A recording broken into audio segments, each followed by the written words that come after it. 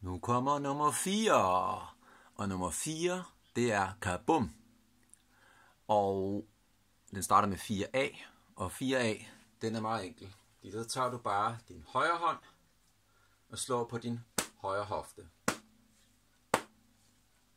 Sammen med hver fod, der rammer jorden. Det er bedst at gøre det, imens du laver de fire slag med fødderne.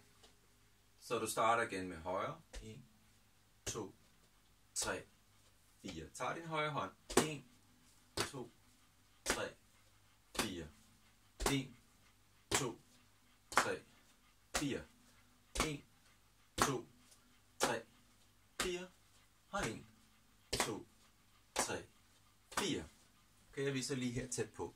Din højre hånd rammer din hofte på hvert slag, så det siger 1, 2, 3, 4. 1, 2, 3, 4. Den skal du også kunne.